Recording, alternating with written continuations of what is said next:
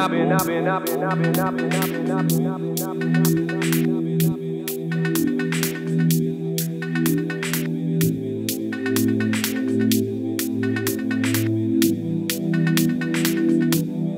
open up your mind, eyes, ears, and heart.